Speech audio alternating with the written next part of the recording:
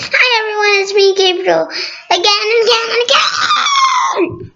And today we're to do Pokemon Cards Part 3. It's the last part. So, let's get started. I just have to take these out and, okay, here we go. Shroomish. Spore. Your opponent's active Pokemon is now asleep. Bidoof. Nah. 10 attack. That's damage. Scourge. Flip a coin. Heads, prevent all damage done to this Pokemon by attacks during your opponent's next turn. I don't know what that means, but okay. Onix. Pretty cool. Harden. During your opponent's next turn, if this Pokemon would be damaged in an attack, prevent that attack's damage done to this Pokemon that damage is 60 or less. Ooh, Glameow. Gentle Bite. During opponent's next turn, the, the defending Pokemon's attack to do 40 less damage before applying weakness and resistance. Just a, game card. In the Okay, it's a trainer hiker. Oh, it's a hiker. Look at the five cards of either player's desk and choose one of them. That player shuffles the other cards back into their desk, then puts mm, the card you choose on top of that deck.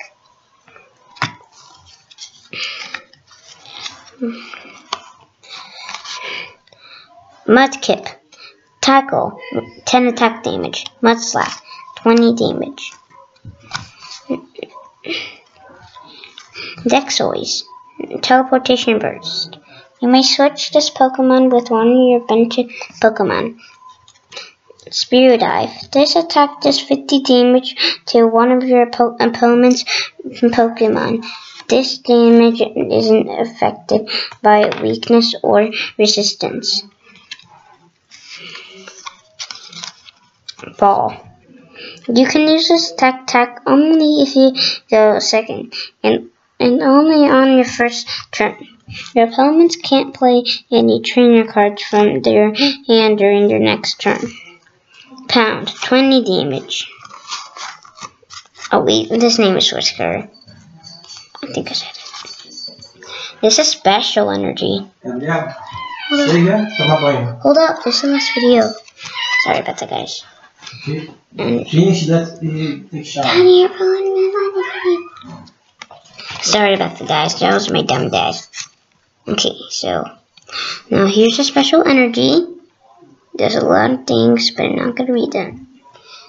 Droney, Signs of Evolution. Search your deck of a Droney, a Dragonair, and a Dragonite. Reveal them and put them into your hand. Then shuffle your deck.